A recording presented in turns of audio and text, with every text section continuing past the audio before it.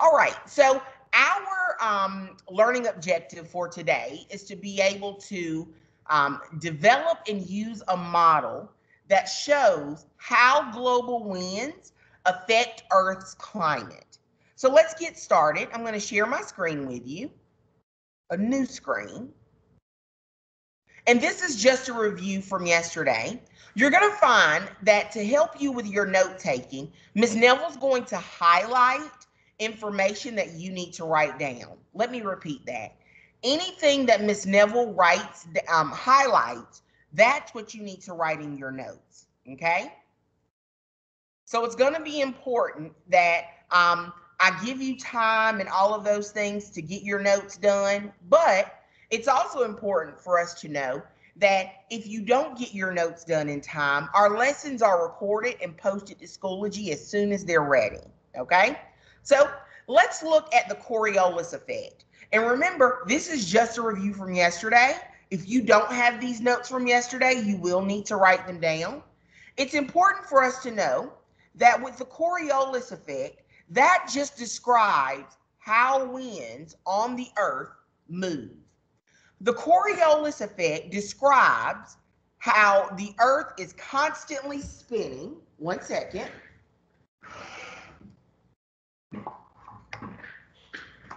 How our earth is constantly spinning. Okay. And the earth is round. So because our earth is constantly spinning and round, it causes the winds as they move across our earth not to go straight, but to go curved. Yes, remember those winds wrap around our earth. And because our earth is spinning, it causes those winds to spin as well. Okay. So we want to remember from yesterday, the Coriolis effect tells us that Earth's winds move in a curved pattern. Earth's winds move in a curved pattern. These are from notes from yesterday, so I'm going to go on. If you didn't get these notes, please watch the most recent recorded lesson um, that's in our pink folder on Schoology. So we're going to start talking about global winds or continue talking about global winds. So in your notes, our new heading needs to say global winds. Just a reminder that Earth's winds move in a curved pattern. Earth's winds move in a curved pattern. Later on today, Miss Neville will be putting this picture on Schoology so that you can complete it in your notes. As for right now, you just want to leave a spot to draw this picture in your notes because um, you won't have time to draw it during our live session today. Another important global wind is the polar jet stream. Another important global wind is the polar jet stream.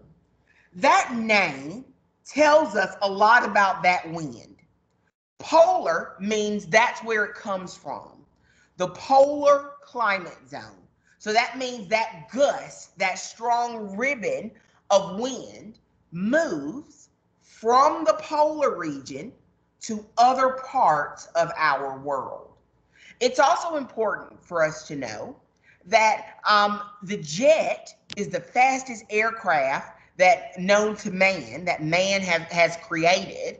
And so it tells about the speed of this wind. Yes, it blows very fast. And just like a stream of water, that polar jet stream, that polar jet stream helps us to um, understand that that wind really looks like a stream of water almost. It's a thin ribbon of air that moves. The polar jet stream is so important because, let me highlight. The polar jet stream is so important because it brings those cooler temperatures from the polar climate zone, it brings them down to other parts of the United States. And that wind is not only colder, but it's also got some water in it. Yes, it brings precipitation and moisture to areas that are usually more dry. Areas like the Midwestern United States, okay, the Dakotas and all of those places. We're also going to see or not Dakotas, but Arizona and Nevada, places like that that are extremely dry, that polar jet stream dips down in that area and brings um, precipitation, rain, sometimes snow, and cooler temperatures to that place. So it's extremely important. I'm going to give you three minutes to finish writing down these notes. If you have time to start on this picture, it needs to be colorful. You definitely may. If you don't have time to finish this picture today, I'm going to put this picture on Schoology so that you can draw it in your notes and finish it there. Okay? Please take some time, three minutes, to finish this drawing.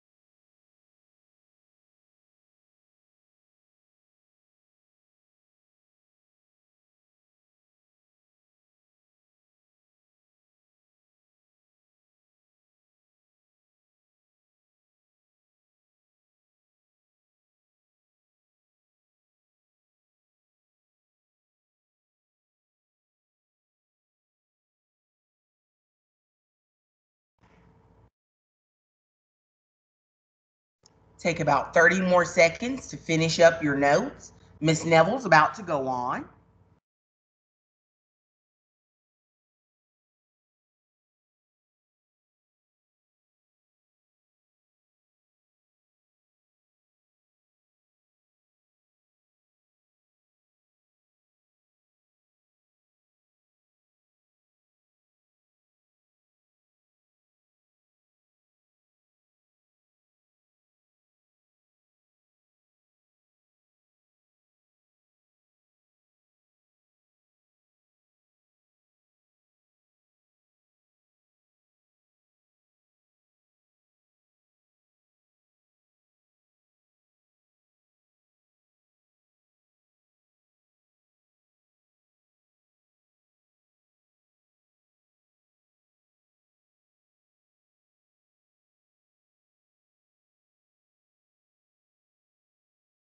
Okay, so let's go on.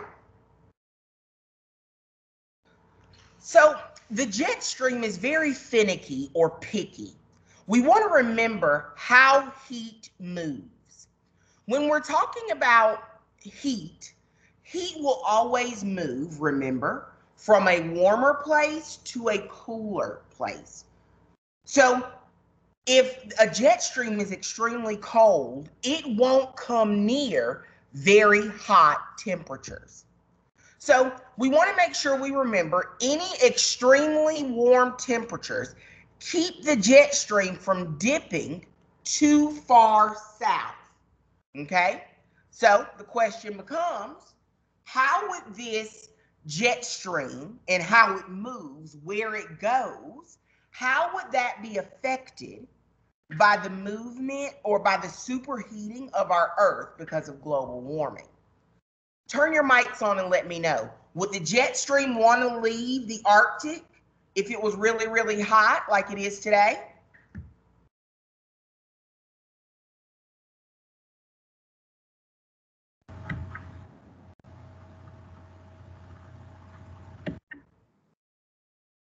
So the answer there is no. Okay, that jet stream is not going to want to come down into a very hot area. I know right now it's very cold, but we've experienced some extremely warm winters as the years continue. And the reason why is because of that greenhouse effect working too well. Too much heat from the sun is being trapped onto our earth and it's making our earth superheated.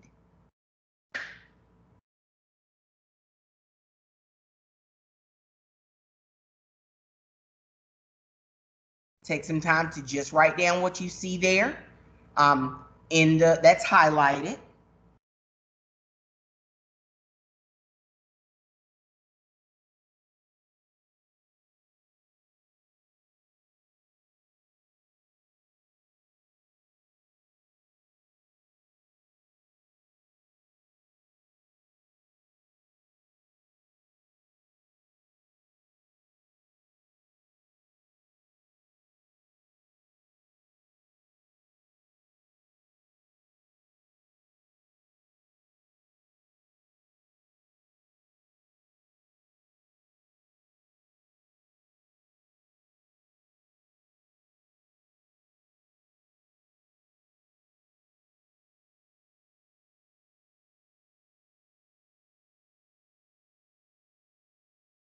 Okay, we're going to go on.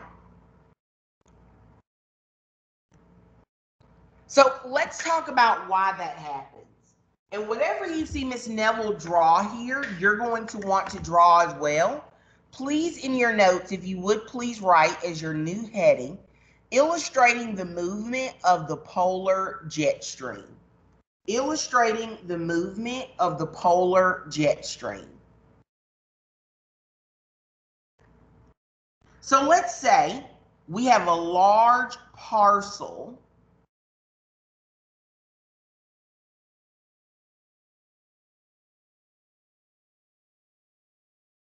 of land here, okay? This is actually a picture of some land. If you can draw it better, please do, okay? So I'm gonna label this as land.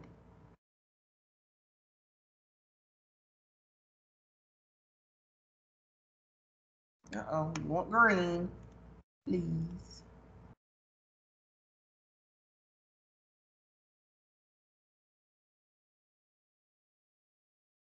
Okay, so what we'll find here, what we'll find here is that at the top of this land, we're going to have, above this land, we're going to have that polar region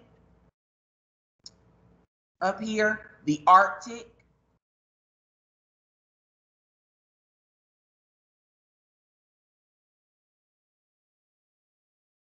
So remember, that's the birthplace of that jet stream. So that jet stream is going to dip down. Oh, it's going to go back up. Oh, oh my goodness. And then it's going to run home. Let's talk about why. What causes that jet stream to not dip any further south? We want to remember that heat, we can think of heat as a bit of a bully. So heat from the south, heat will keep that jet stream from dipping too far down. It's actually going to force that jet stream to stay as far north as possible. It's going to cause that jet stream to stay as far north as possible. It's not going to dip down very low.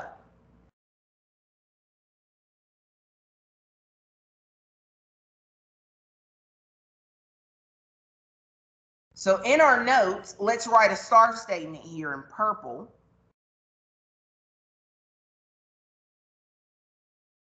And a star statement is a very important fact we don't want to forget.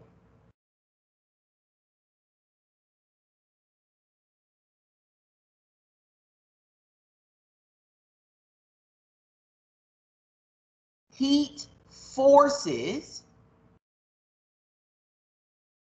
the polar jet stream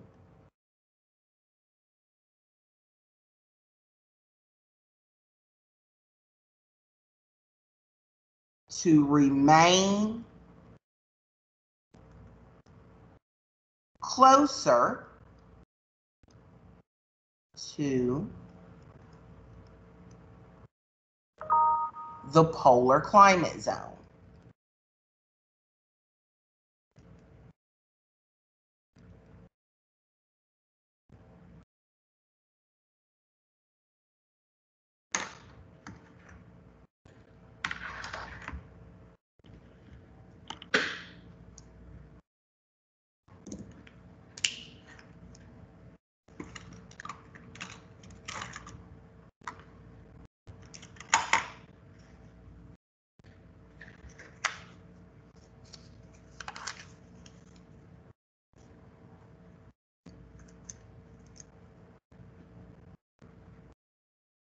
Take some time to finish drawing this and writing your notes here that are in purple. Um, Neville will go on in two minutes.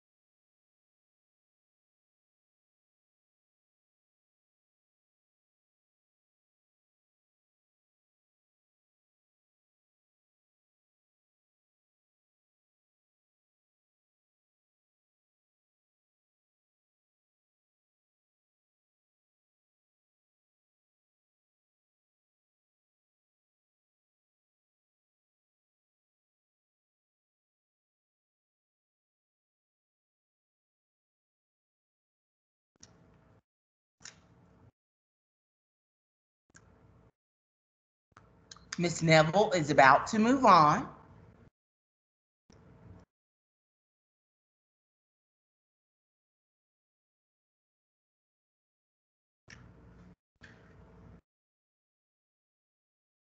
So because our jet stream is absent, and you don't have to write down anything here, because our jet stream is absent, what's happening around our world? Yeah, the 2020 California wildfires that we saw in the news, um, a lot of those had a lot to do with the fact that because California has become so warm, the jet streams from the polar region won't dip down to bring cooler temperatures and precipitation. That means this hot ground here is now superheated. It's dry and it acts as kindling to um, spark a fire from the overheating from the sun. So these fires are directly tied to a lot of things, one of those things being the absence of the polar jet stream.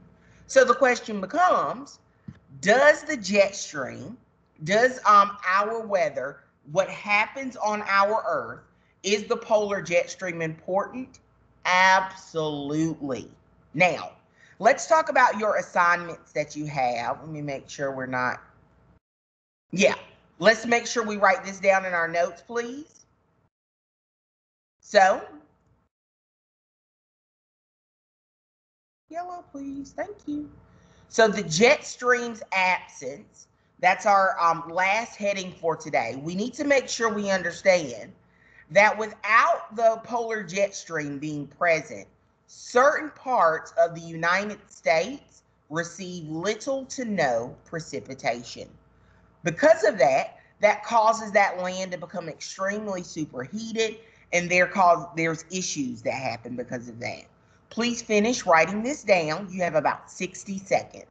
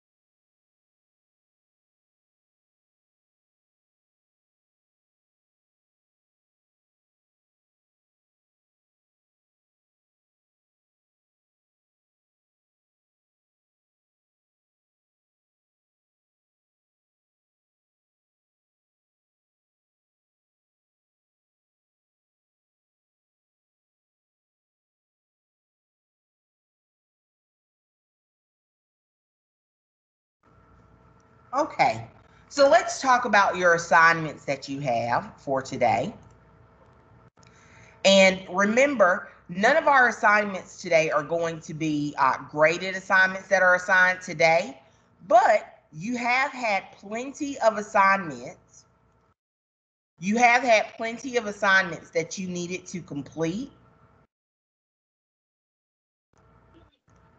You have had plenty of assignments that you needed to complete this week.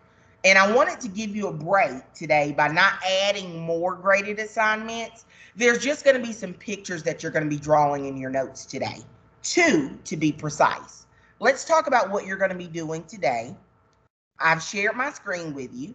In our new hot pink folder, week 17, measuring climate and severe weather systems, we're going to find that you should have already completed Bill Nye the Science Guy Climates.